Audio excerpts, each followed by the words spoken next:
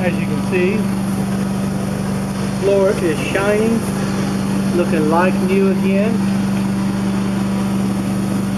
Felipe, my lead tech, is going through and thoroughly, painstakingly cleaning the floor to make sure that there's no grout left uncovered, making it look just like a brand new, shiny, clean floor again.